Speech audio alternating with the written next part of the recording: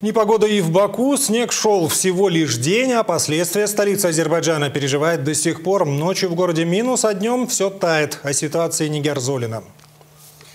Сегодня многие жители столицы опоздали на работу, а виноваты в этом дороги. Они покрыты льдом, что затрудняет движение транспорта. На ряде улиц и проспектов образовались серьезные заторы, и людям приходилось передвигаться пешком. В связи с гололедом Главное управление дорожной полиции призывает водителей быть более внимательными, а неопытным рекомендует вообще не садиться за руль. Мы работаем в усиленном режиме. Сейчас все дороги очищены и открыты. Все под контролем. Но водители должны сохранять безопасную дистанцию между машинами и ездить на минимальной скорости, а пешеходы пользоваться переходами и мостами, а не перебегать дорогу. В усиленном режиме работает и Центр скорой медицинской помощи. За последние три дня к врачам с различными травмами обратилось 60 человек.